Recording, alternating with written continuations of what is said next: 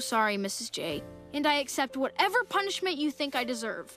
I think a week's detention should do the trick. Followed by a week of being grounded.